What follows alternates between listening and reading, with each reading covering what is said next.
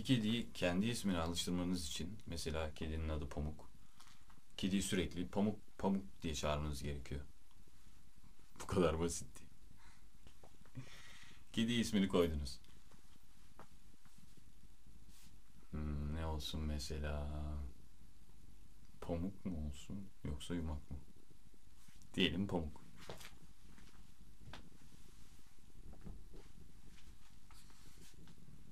Pamuk. Pamuk.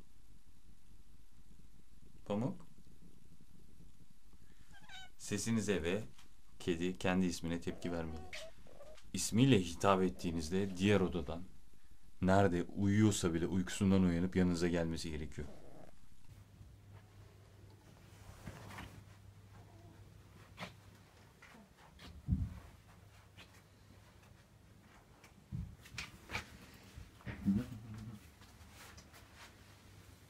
Mühür. Mühür. Gel kızım. Gel bakayım buraya kızım. Mühür.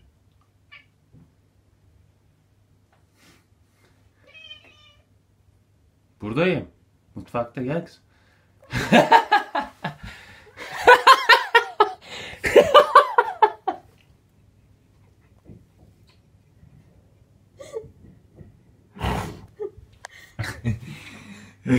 Bir kediye ismini nasıl koyarsınız?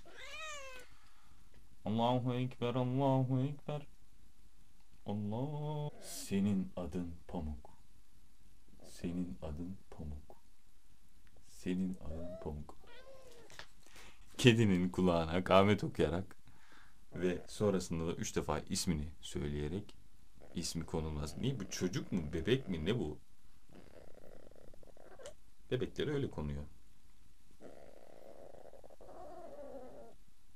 Kızım çok su kurdandı. Bir kediye ne isim koyabiliriz? Etrafımdaki kedilerin isimlerinden örnek verebilirim size. Mesela e, pamuğun yavrularından bir tanesinin adı gene pamuk olmuştu. O da bembeyazdı. Bir tanesine Bob koydular. Bir tanesine Kral koydular.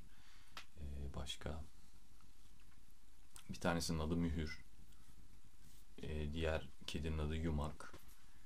Sonra başka ne kaldı? Başka bir tane daha yavrusu vardı. Bir tane daha yavrusu vardı. O da Mia. Onun adına Mia koydular. M-I-A. O kadar basit. Yani hem basit kısa isimler hem de e, kedi bu ismi duyduğu zaman kendisinin çağrıldığını anlayarak yanınıza gelmesi gerekiyor. Bunu nasıl sağlayabiliyorsunuz? Onunla oyun oynarken pamuk, pamuk veyahut da yumak, Mia, Bob yani sürekli ismini ona zikretmeniz gerekiyor arkadaşlar. Kısa isimlerde daha kolay anlayabiliyorlar. İsmin tonlamanızla değişiyor. Bu BB ismiyle alakalı bir şeyler demişsiniz arkadaşlar. Burada BBÖ yazıyor. Bir ara e, Instagram'dan takip edenler görmüştür. Balkondan düşmüştü kedi. E, balkonda bir tane saksının üstüne çıkıyor. Saksı yere düşünce dengesiz durmuş yani.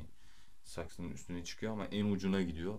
Orada da dengesizlikten aşağıya düşüyor. Zaten biz e, birinci katta oturduğumuz için balkonla yer mesafesi çok uzak değil. Allah'a şükür başına bir iş gelmemiş ama başına şöyle bir iş gelmiş. Geceyi tamamen dışarıda geçirdi kedi. Burada e, marangozun odunlarının arasına girmiş. Sabah oldu. Aradık sağda solda bağırdık çağırdık. Sonra bulduk. Yumak yumak diye seslendiğimizi o garip miyavlayışıyla bize miyavladı. Ben neden buraya düştüm diye seslendi bize. O şekilde kediyi bulmuş olduk. Evet onlar küçük çocuklarımız gibi değiller. Bu yüzden ismini koyarken kulağına kahmet okuyup senin ismin Pamuk, senin ismin Yumak, seninkisi Mia şeklinde koymayabiliriz. Nasıl koyarız? Kedinin ismi nedir? Oyun oynarken kediyi ismiyle çağırırsın. Al sana kedi bu şekilde gelir yani. Alışır, zamanla alışır. Ona aynı ses tonuyla aynı şekilde seslendikçe bu fonetik. Yani büyük ihtimalle kedi fonetiği kodluyor. Nasıl bir ses çıkararak onu çağırdığınıza bakıyor. Pamuk.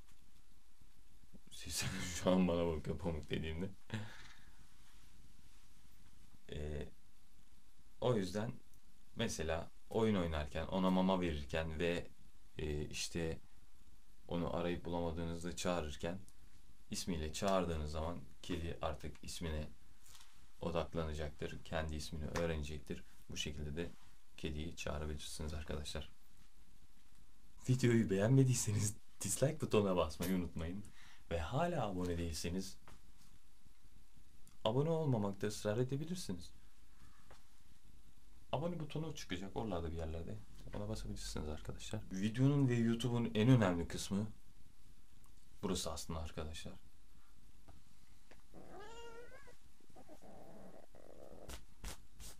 Kızım bunu yeni giydim be. Kirletmesek olur mu?